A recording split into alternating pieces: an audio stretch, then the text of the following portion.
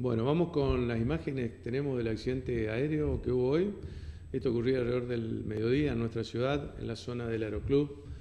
Eh, esta es la calle que lleva para la denominada bajada de Doña Chunú. Eh, se investigan, por supuesto, las causas que provocaron esto. Aparentemente, alguna falla este, en el motor, alguna falla mecánica. Estaba gente de la Administración Nacional de, de Aviación Civil, perdón, la ANAC, que es la que administra los servicios de navegación aérea de nuestra ciudad, optimizando los niveles de seguridad operacional.